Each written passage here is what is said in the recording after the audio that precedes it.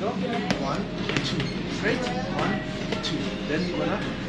Sguardo determinato, posizione di guardia, pugni assestati con decisione. Sono le anziane signore che ogni settimana si ritrovano a decine in una palestra alla periferia di Johannesburg. Alcune lo fanno per tenersi in forma, per muoversi, per contrastare l'invecchiamento con della sana attività fisica, ma altre partecipano a corsi gratuiti di autodifesa che mettono assieme colpi di box, mosse di arti marziali e semplici tecniche di lotta. Obiettivo sentirsi più sicure o quantomeno provare provare a reagire alla violenza imperante nel paese. Il Sudafrica è la nazione con il più alto numero di casi di violenza sulle donne a livello mondiale. Se ne registra mediamente uno ogni sei ore gli stupri e le violenze sono frutto del degrado, della povertà, dell'alcolismo e di una concezione maschilista del mondo che relega molte donne ai margini della vita sociale. Secondo l'Ufficio Statistico Nazionale, in Sudafrica il 40% degli uomini ha picchiato la propria compagna e un uomo su quattro ha commesso un reato sessuale. Anche se solo una minima percentuale sporge denuncia,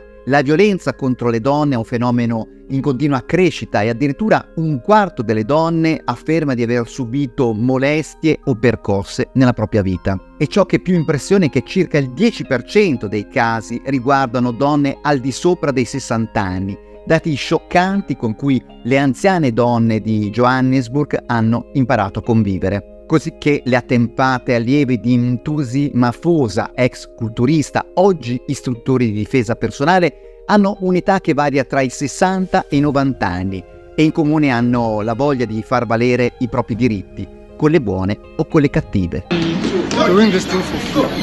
Alleno gratuitamente perché ce n'è un grande bisogno. Non farei mai pagare a queste donne anziane, ma molti giovani fanno donazioni che permettono di tenere viva la palestra e offrire lezioni gratuite due volte alla settimana. Alcune di loro hanno problemi di artrite, ipertensione, malattie legate all'età ma la loro forza d'animo, la loro voglia di restare in forma è impressionante e l'attività fisica fa bene, fa bene al cuore, all'apparato cardiovascolare e giova anche alla salute mentale.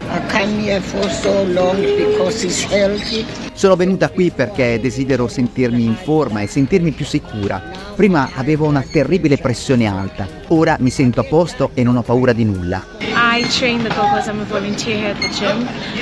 Sono una volontaria, mi piace aiutare gli anziani. Sono stata cresciuta anche io da una go-go, una nonna, che mi ha protetto, mi ha insegnato molto. Ora voglio restituire un po' di quello che ho ricevuto.